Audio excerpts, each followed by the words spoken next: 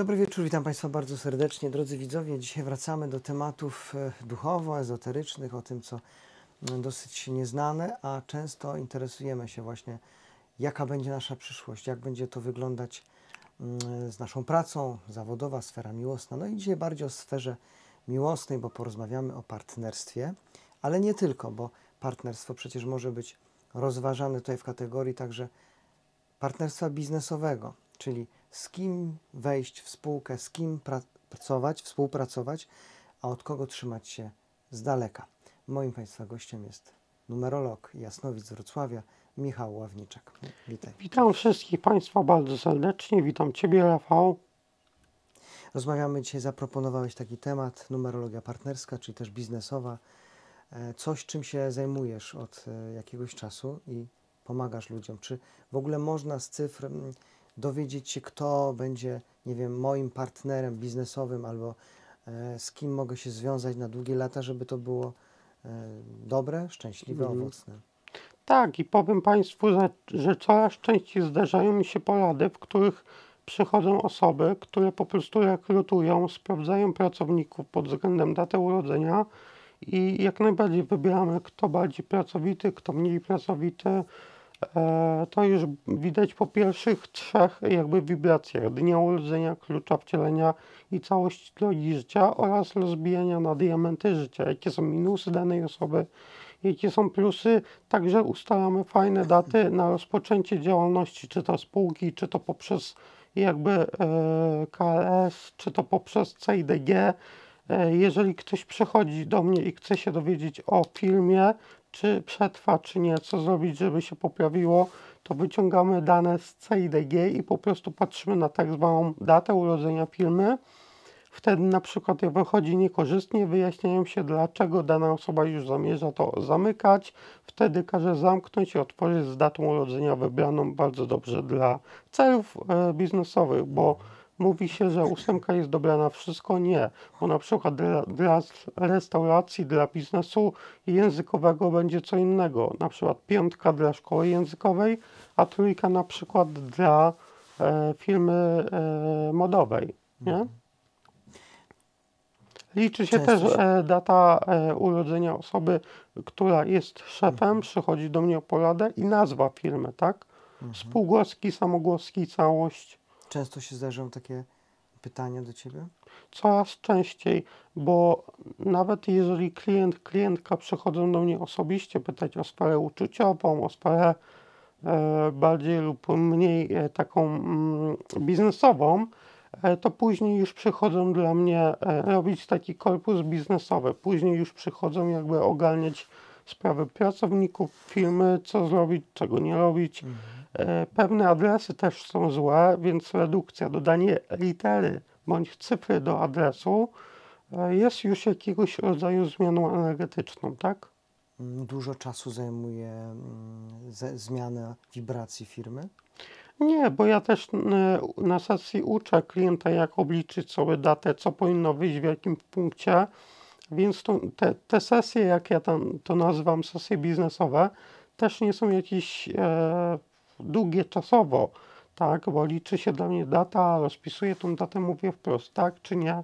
Myślę sobie, że jestem dość konkretną osobą, wobec czego y, też mówię, jakich wibracji unikać, jakimi wibracjami się wspierać. I jeżeli zdarza się ktoś, bo są tak zwane lata pustki, że są lata pustki, w których otworzył biznes, to też radzimy magią bardziej uniwersalną, magią słowiańską, co zrobić, w jakim kącie na przykład postawić e, daną rzecz, zioło bądź jakiś sygil runiczny, żeby wspomóc mhm. i żeby zniwelować te lata pustki, nie?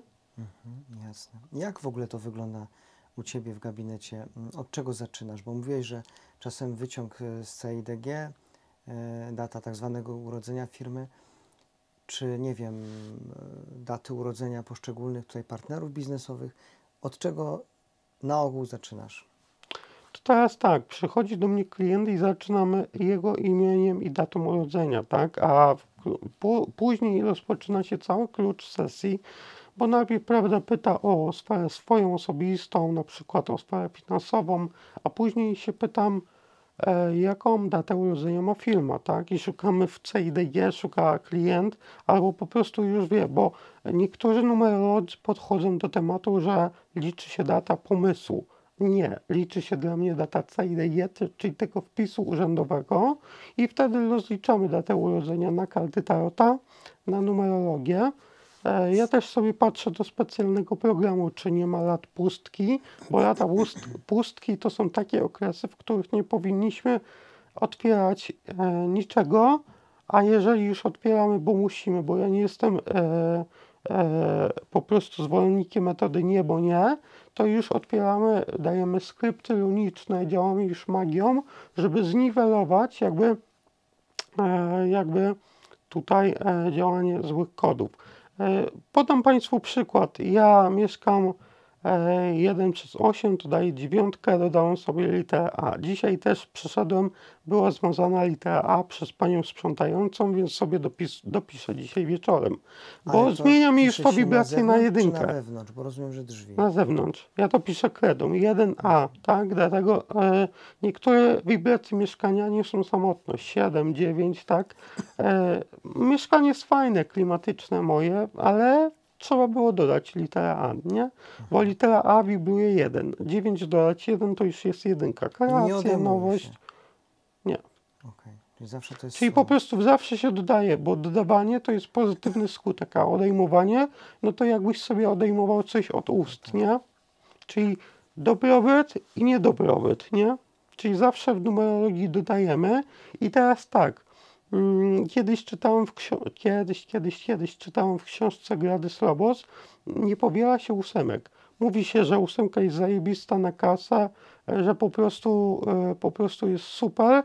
Natomiast w momencie, kiedy mamy datę właściciela 8, nazwę firmy 8 i po prostu 8, jeszcze data urodzenia firmy, to jest 888.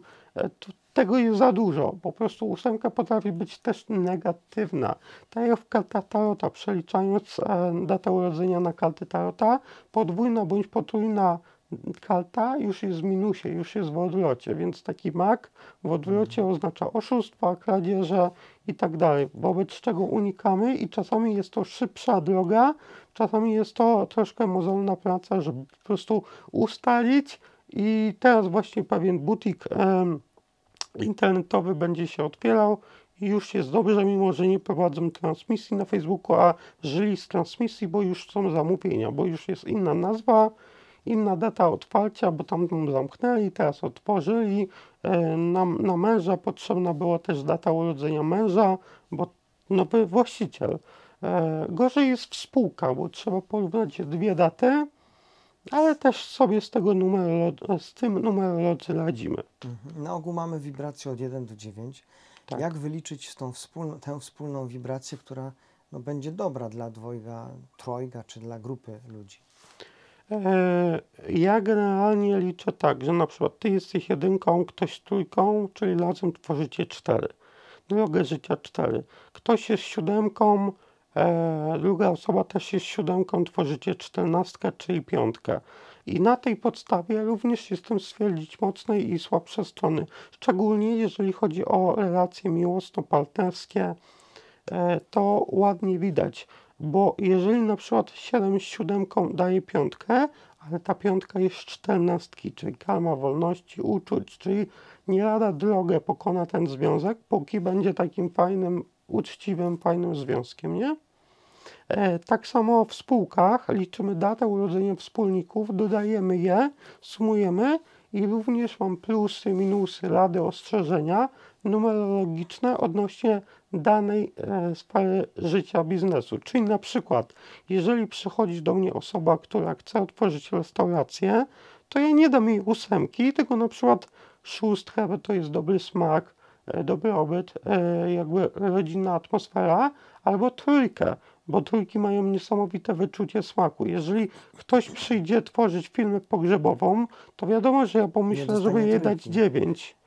No tak. I mówi się, że dziewiątka zła na zamykanie, ale ja otworzyłem swoją własną działalność ezoteryczną w dziewiątce i jest dobrze A siódemka dla zakładu pogrzebowego?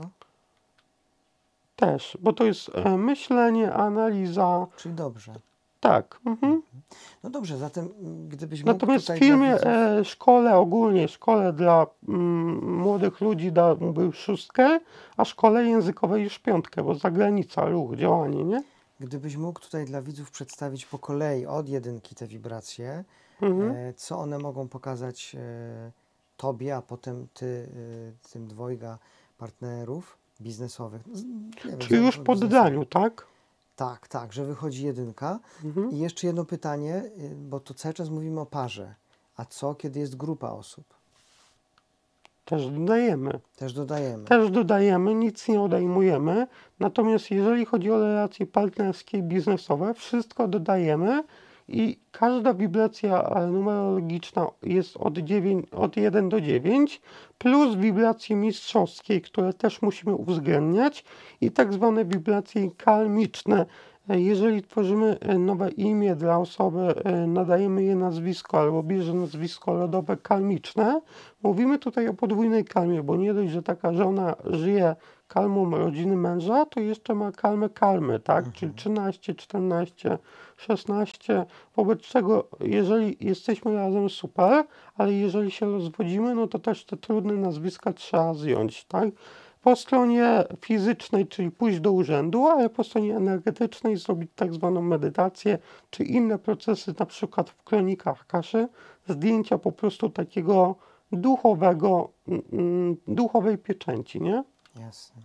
No dobrze, zatem omówmy. Jedynka, kiedy wypada wśród partnerów biznesowych i Tak, no to jest związek wybuchowy, bo to jest związek, który, e, który, o którym wszyscy mówią, wow, super, e, ta para jest idealna, ta para jest taka indywidualna, ta para w ogóle się nie zastanawia jakby nad tym, co ludzie pomyślą. Jedynka, czyli mak, kreator, początek, wszystko co nowe, wszystko co fajne, wszystko co świeże.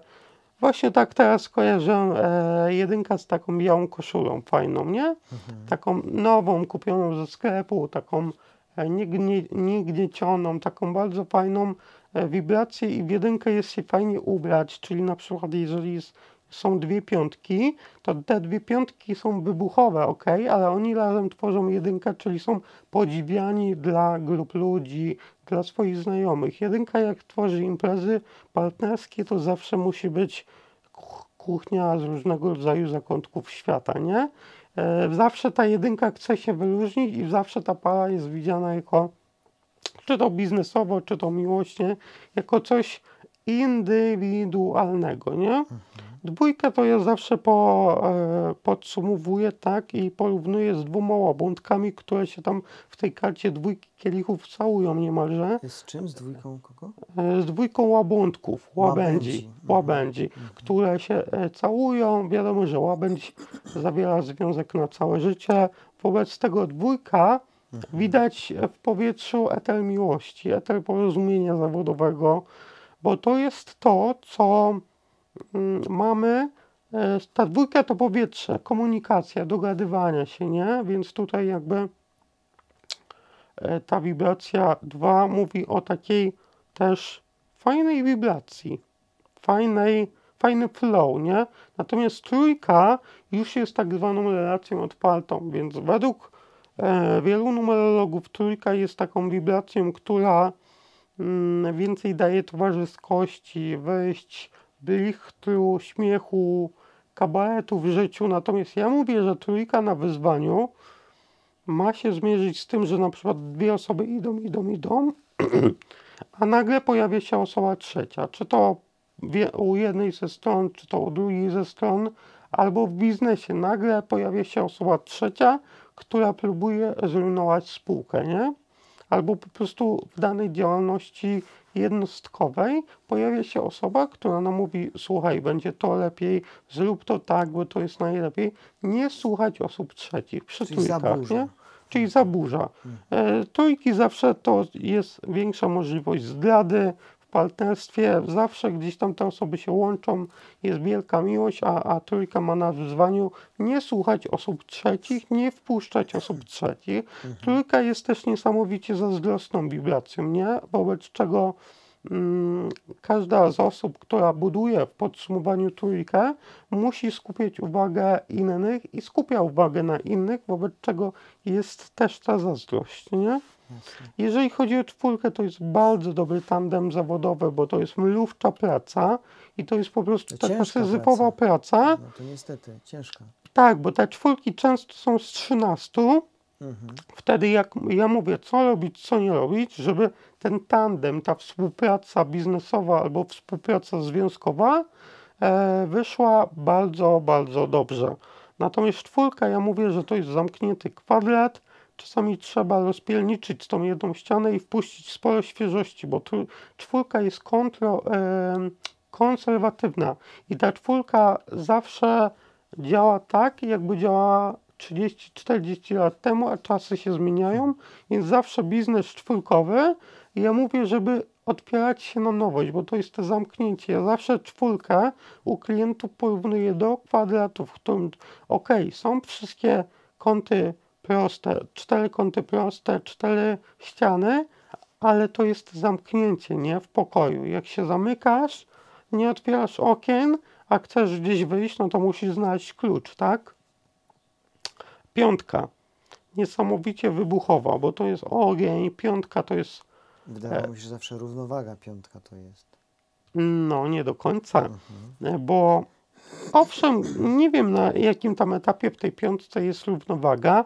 Niemniej jednak piątka to jest zawsze wybuchowość, dynamizm, zagranica, językoznawstwo, więc taki związek piątkowy jedyne co ma dobre, znaczy pewnie można znaleźć dużo kwestii dobrych, ale wybuchowość, e, nonszalancję, mm, taki związek bardzo werbalny, taki związek światowy, zagranica. I ja mówię bardzo często, jeżeli związek ma kryzys w piątce, to wyjechać za granicę na przykład, nie? Na stałe?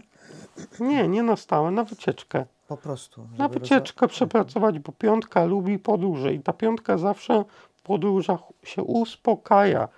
Piątka nie lubi odpoczywać. Piątka to dynamit, dynamit pracy, Nie dynamit. wiem, dlaczego mi się tak kojarzy, że właśnie piątka wprowadza taki ład i porządek między powiedzmy właśnie taką e, siódemkę, e, chociaż siódemka jest duchowa. Dobrze, no nie mnie jest się wypowiadać, faktycznie nie jestem tu. No, E, wiesz co, to co mówisz jest trochę egzotyczne, dla Mhm. mnie przynajmniej, ale po prostu piątka dla mnie zawsze to jest ogień, iskra.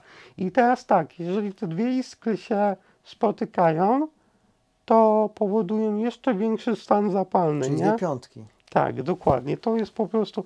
No, jedyną dobrą nomen, nomeną w związku o piątce to jest dobry seks. Ale po prostu jakby jakieś rozmowy, uzewnętrznianie się to jest zawsze To kto, cholerowanie. kto nie? dla piątki na, e, na, na biznes dobry? Dla piątki na Jedynka? biznes dobry trójka, Trójka. bo otworzą ósemkę. Mhm. A jedynka?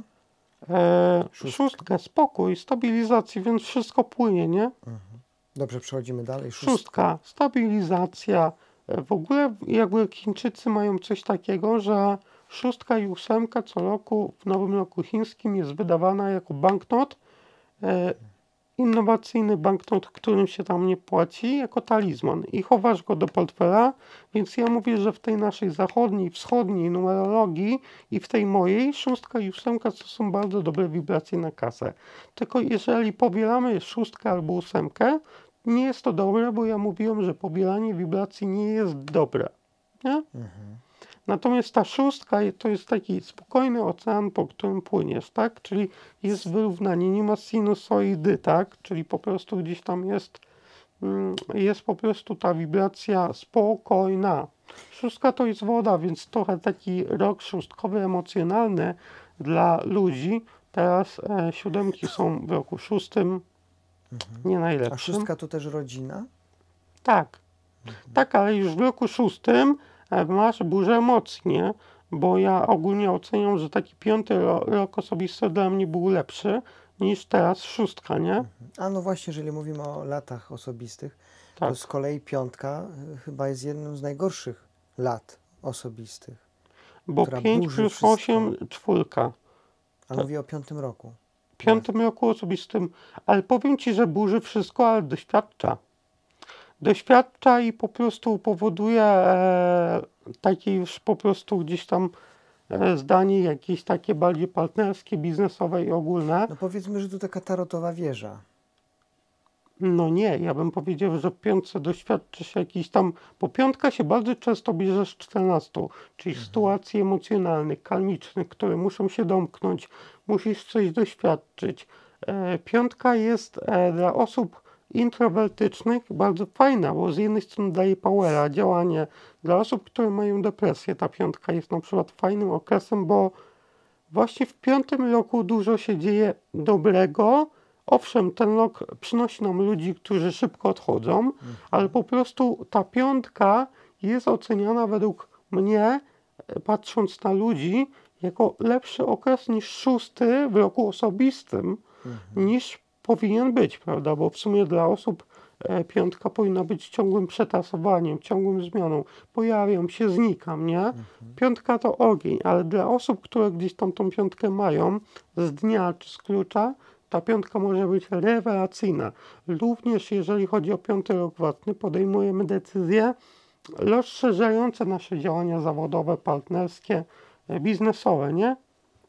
Natomiast w szóstej już się bardziej uspokajamy i stabilnie, ale na tak zwanym rodzimym podwórku. Kolejny to siódemka, ja mam chyba teraz siódmy rok własny.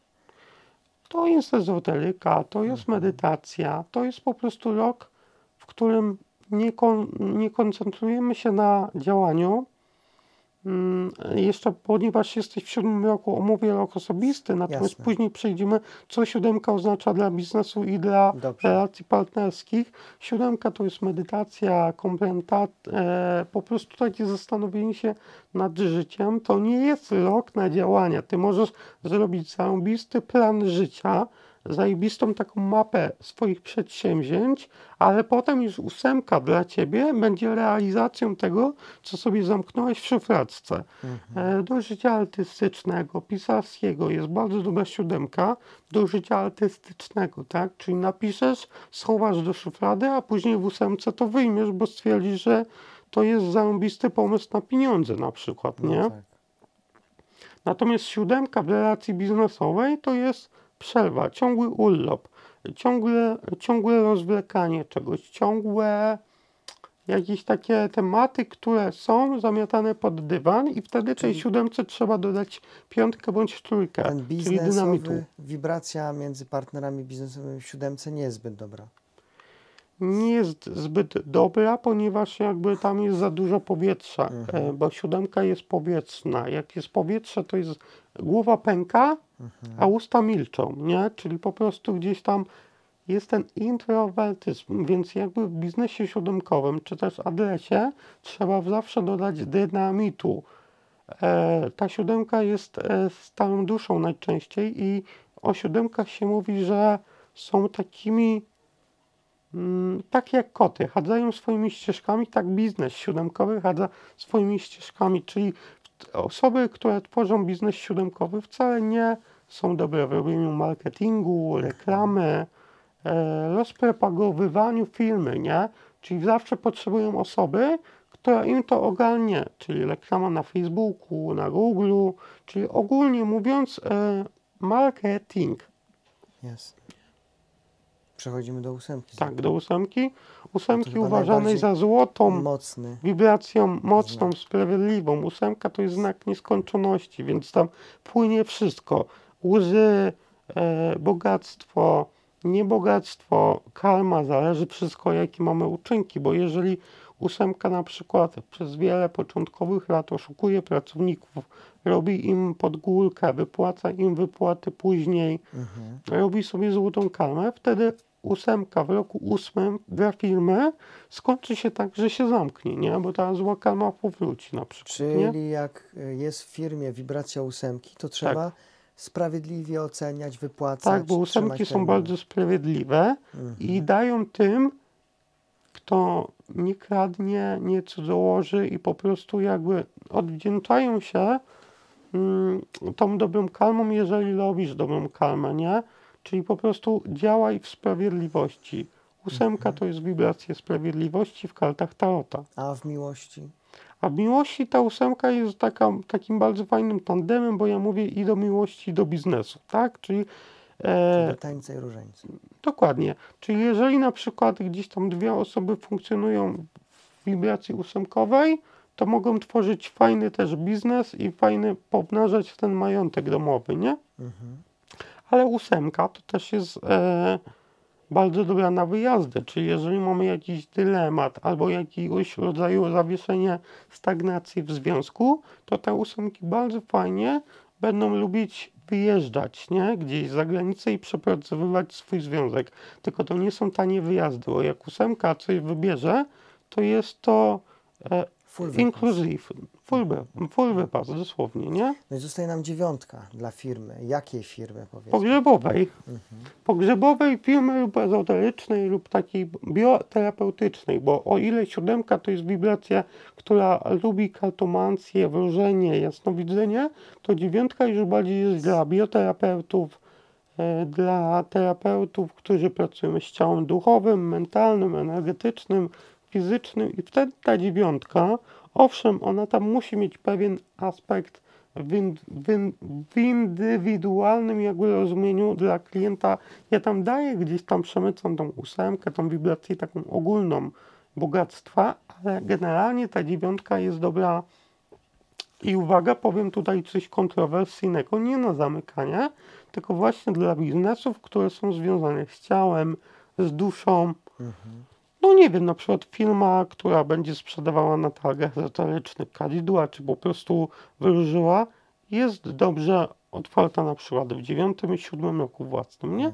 Albo w dwójce, bo też powietrze, czyli dla film ezoterycznych powietrze, dla film bardzo materialnych, czyli na przykład kantor walutowy, ziemia, czyli 1, 4, 8, albo na przykład e, woda, czyli po prostu dla jakichś film przewoźniczych. Dla dziennikarzy? Lanie wody? Niekoniecznie. Trójka, ja bym powiedział piątka, bo to jest zawsze werbalność, tak? Dobry język, kunszt, Dla smak. artystów? Siódemka? Wiesz co? Trójka. 369. Trzy Mówi się, że to jest triada artystyczna, więc w ogóle fajnie jest, jeżeli się ułoży trz- trzeci czerwiec, na przykład 2007 rok, bo to jest 369, No, nie? czyli było. to jest numerologiczna triada artystyczna, nie? Mhm. Jasne. Bardzo często zdarzyło mi się kiedyś, że układałem nazwę płyty dla zespołu, e, który po prostu wykonywał muzykę rockową, Mikrofon E, troszeczkę odwinął, więc popraw sobie proszę. Tak jest. tak? E, dziękuję. I po prostu e, dopasowywałem nazwę płyty. Mhm. Tak, nie mogę zdradzać szczegółów, natomiast ta płyta się pokrywa e, złotem.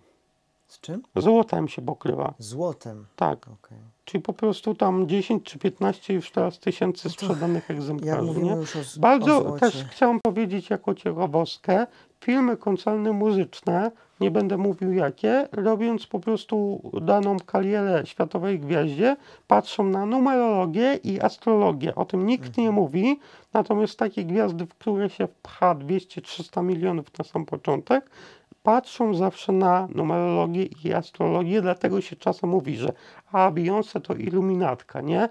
A Lady Gaga to iluminatka. Nie, to jest dobrze dopasowana data urodzenia pod kątem data, e, data art- artystki, kosmogram, czyli godzina i miasto urodzenia do bo to jest działanie biznesowe, czyli firma biznesowa przychodzi do kogoś i ja ci mówię, czy warto w tą osobę pakować, inwestować pieniądze, czy nie. Tak, już nie mówię o układach tam, ale mówimy już o złocie, bo powiedzieć złocie, czy to takie powiedzenie, że co w dacie urodzenia, to i w portfelu?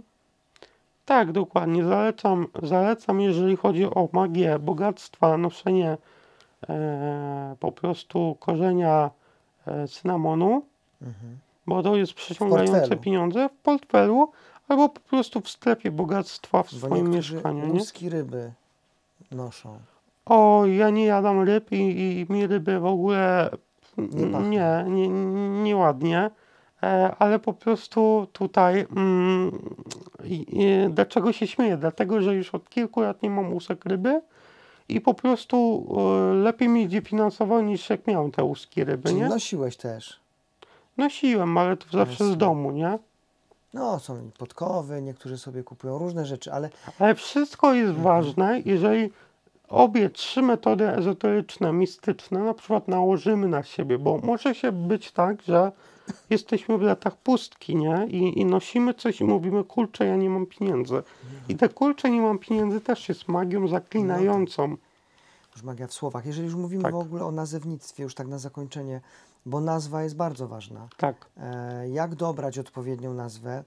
Czy to się uwzględnia również daty urodzenia partnerów biznesowych? Tak, bo nie możesz mieć wibracji powielanych.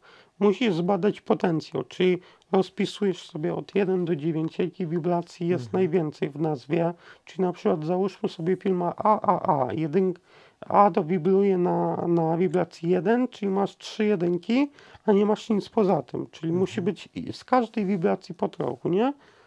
No i wtedy datę wybieramy, nie? Jasne.